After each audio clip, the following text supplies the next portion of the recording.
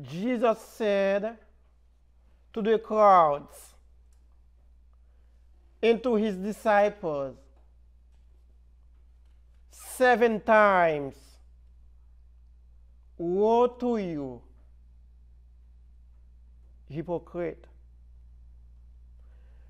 Jesus wants us to be sincere in all we say and do.